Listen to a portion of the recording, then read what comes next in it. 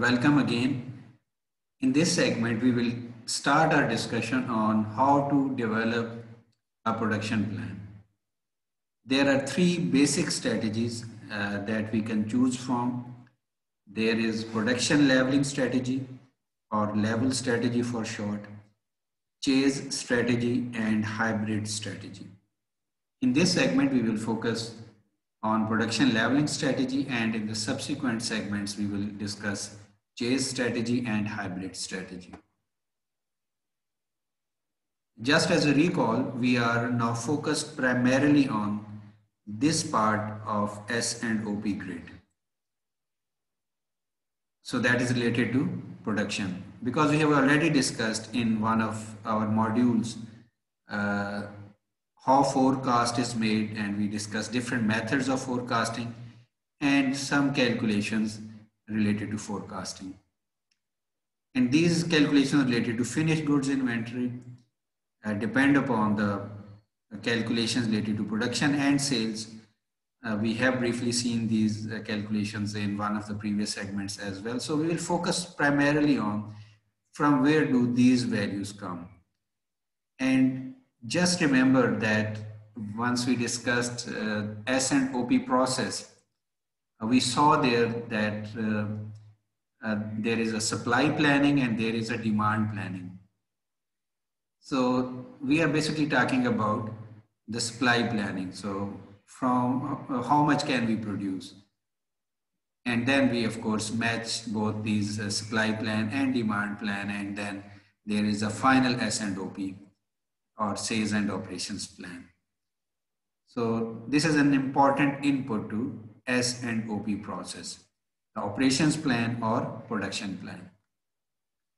The same applies to make to order grid as well. So again, we have discussed different methods of forecasting. So we will be focusing on uh, production or shipment. So how this production or shipment plan is made, from where do these values come? And, and again, that is a very important input to S and OP process.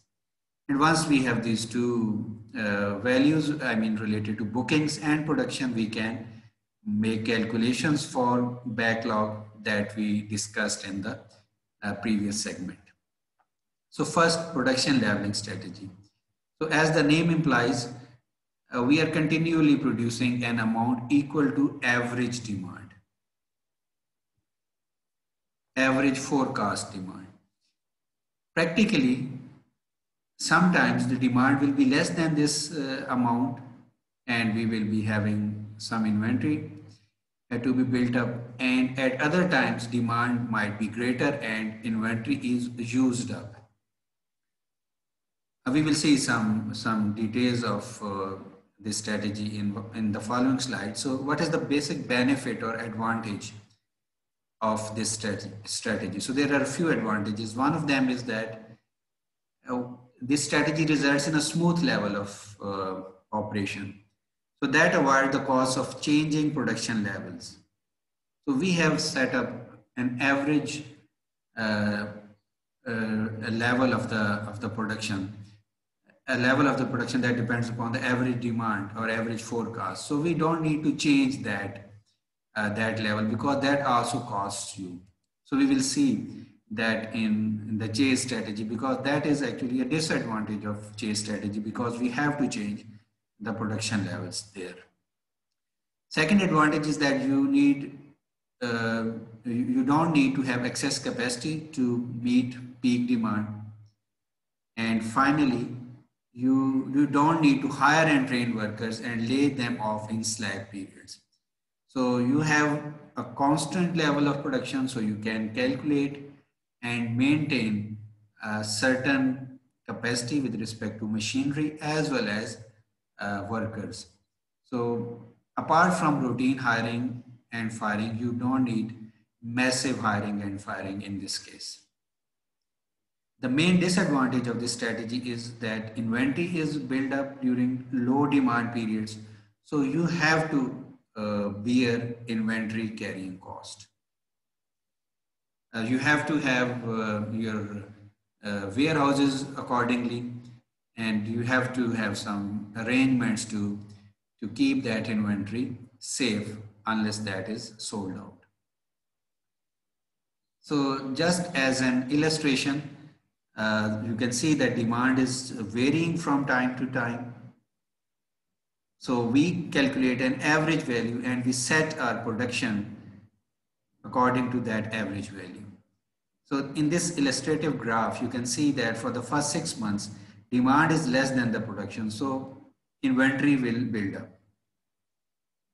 So this shaded area is showing the inventory that is built up.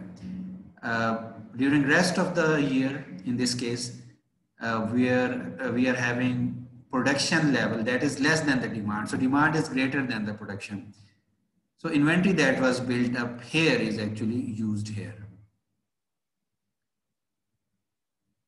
So this is the basic idea that we are producing more during off peak seasons or when the demand is less and then you use that extra inventory when the demand increases.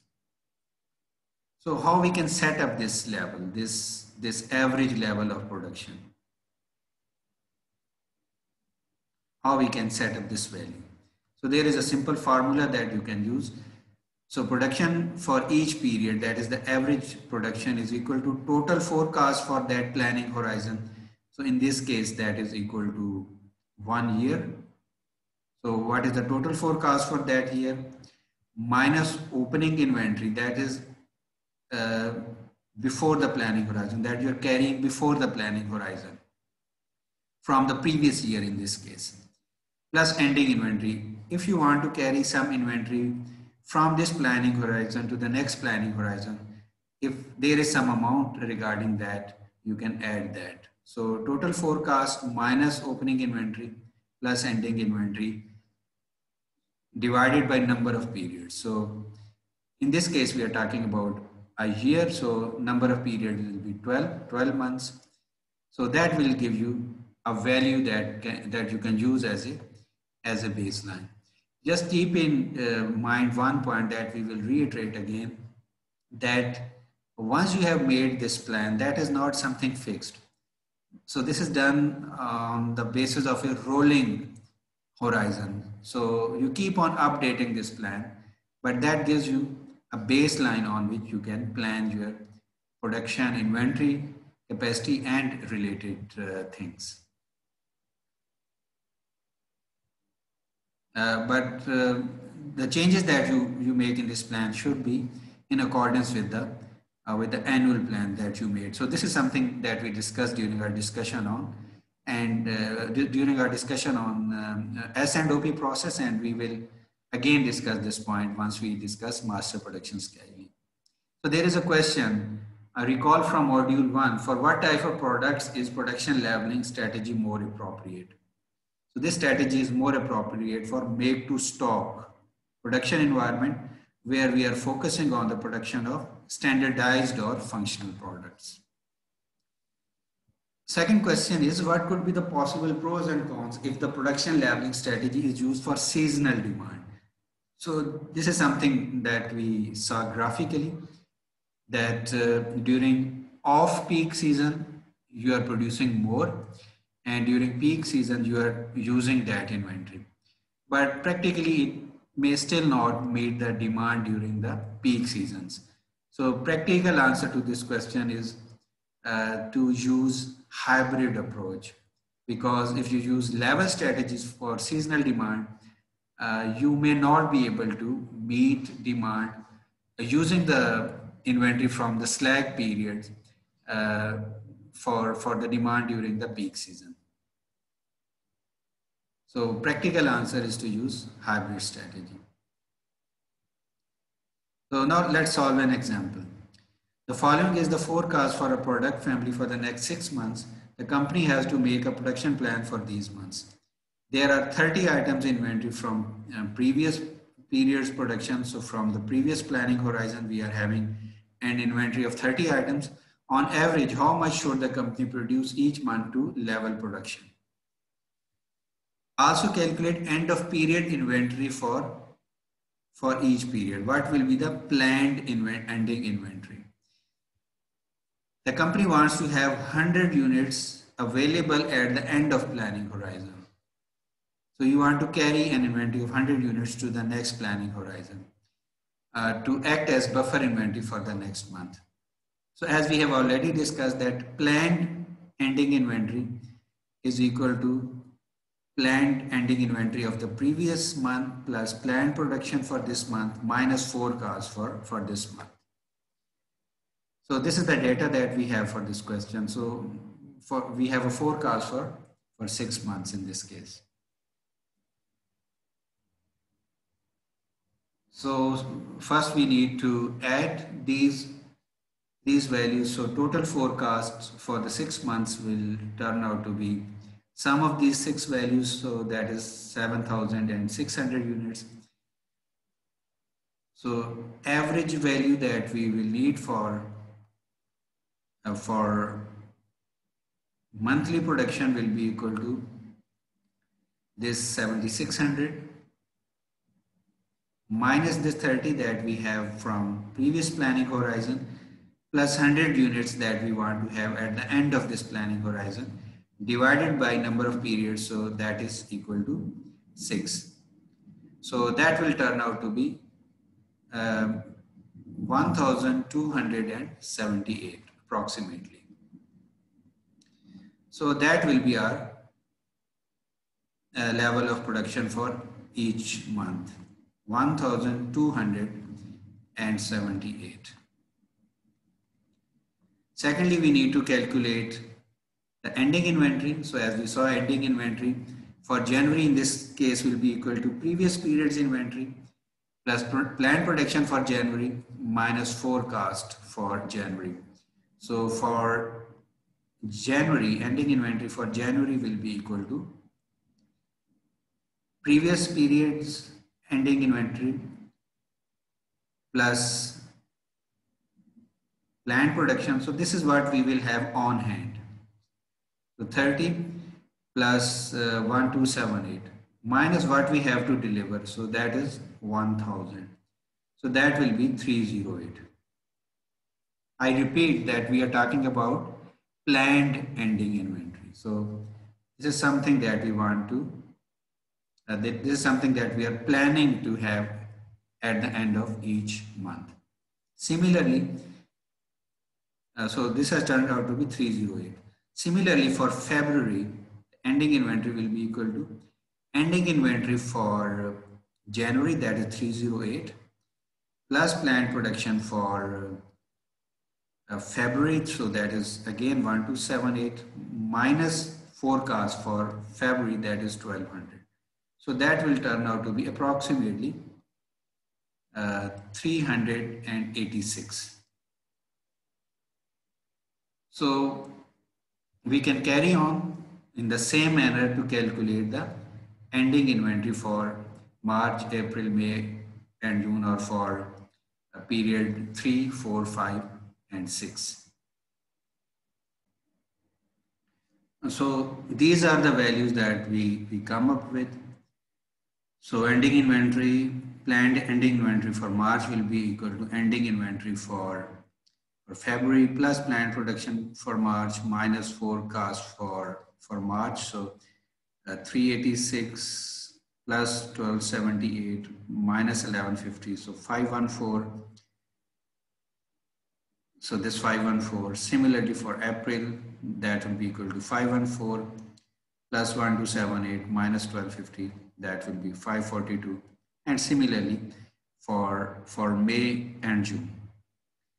So ending inventory, planned ending inventory for June is 98. So we are not getting exactly 100 because of approximation. Uh, but that is something that we plan to have. We, we plan to have 100 units at the end of the planning horizon so we are having that uh, uh, quantity approximately equal to 100 units by the end of the planning horizon, that is uh, by the end of June in this case. So we can carry this inventory to the next planning uh, horizon. Uh, we can convert this ending inventory to the ending inventory in terms of number of days as we discussed in our MTS grid so how much inventory we have on hand. So in terms of number of days. Similarly, if we have uh, some data on the inventory carrying cost, we can also find the inventory carrying cost for this planning horizon. Thirdly, if we have some, some data related to the size of the product or its, or its packing, we can also approximate uh, the area that will be required to, to store these items. For example, the maximum inventory that we are, uh, we are carrying, uh, we actually plan to carry is 542 units, approximately uh, 550 units. So we can uh, approximate uh, the area that will be required to store these items. Uh, similarly, we, we are having a plan to produce 1,278 units every month, approximately 1,300 units. So if we have some data available uh, with respect to the time required to produce one item, uh, we can actually calculate the resources required. For example, if it is a labor intensive process, we can calculate how many workers will be required on average every month or how much equipment or machinery will be required. So all these things, all these calculations, for example, related to, to machines. So let me write here. So all these calculations related to, to machines, uh, labor, space and other resources is what is called a resource planning. So that is an integral part of, uh, of making a production plan. So we will see at the end of our discussion on different production strategies, level chase and hybrid strategy, uh, how we can actually uh, match up our plan, our production plan, the resource planning, and uh, what aspects are required with respect to resource planning. I mean, we have to plan for machinery, labor, space, and some other uh, uh, other aspects related to resources and capacity. But that is very important to be considered whenever we are making a plan. So we have to consider resources and capacity that will be required to, to execute that plan. So in the next segment, we will discuss the chase production strategy. Thank you very much.